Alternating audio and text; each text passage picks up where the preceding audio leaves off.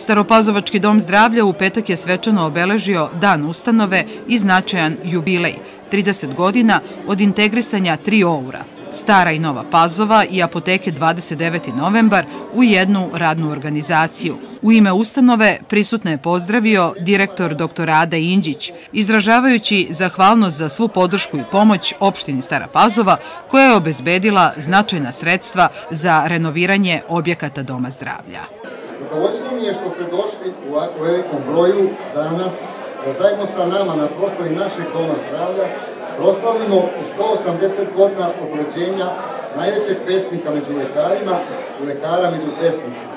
Čovjeka po čim imenom se vodi naš dom zdravlja, doktor Jovan Jovanović.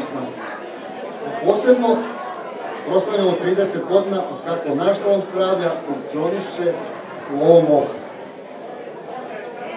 Posebno bih se zahvalio lokalnoj samoupravi naše opštine i gospodinu predsjedniku Đorđu Radinoviću, koji nije mogao da dođe zbog opravdanih razloga, i direktoru direkcije za izgradnju, e, gospodinu Nedeljku Kovačeviću, na nesebičnoj pomoći u renoviranju i opremanju Doma zdravlja, a sve u interesu kako radnika Doma zdravlja, tako i naših sugrađana. Bila je to i prilika da se uruče zahvalnice zaposlenima za 10, 20, 30 i 35 godina rada u kolektivu.